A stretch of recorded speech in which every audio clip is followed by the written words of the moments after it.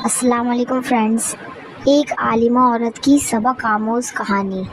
दानिश का रिश्ता एक आलिमा औरत से तय हुआ और कुछ दिन बाद शादी हो गई। बाद में उस औरत ने कहा, हम शरीयत के मुताबिक ज़िंदगी बसर करेंगे। दानिश उस बात से बहुत खुश हुआ कि बाकी ज़िंदगी बीवी की बरकत से शरीयत के मुताबिक गुजरेगी। कुछ दिनों बाद बीवी ने कहा कि देखो, हमने घर में शरीयत के मुताबिक ज़िंदगी गुजारने का अहद किया था और शरीयत में बीवी पर सास और ससुर की खिदमत वाजिब नहीं। और शरीयत के मुताबिक शौहर को अपनी बीवी के लिए अलग घर का इंतज़ाम करना होता है। लिहाजा मेरे लिए अलग घर ले लो। वो शख्स बड़ा परेशान हुआ। अलग घर लेना कोई बड़ी बात नहीं। पर मेरे बूढ़े वालिदैन का क्या होगा?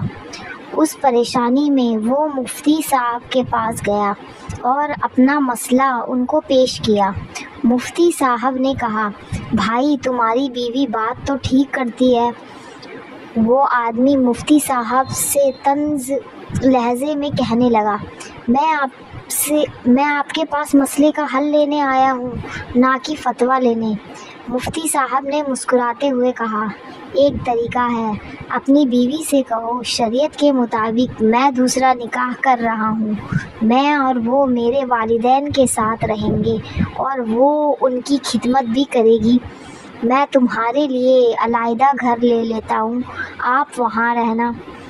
उसने घर आकर अपनी बीवी से ये बात बताई तो वो सटपटा गई और बोली, दफ़ा करो दूसरी शादी को, मैं इधर ही रहूँगी और आपके वालिदैन मेरे भी वालिदैन हैं और उनकी खिदमत इकराम मुस्लिम भी है।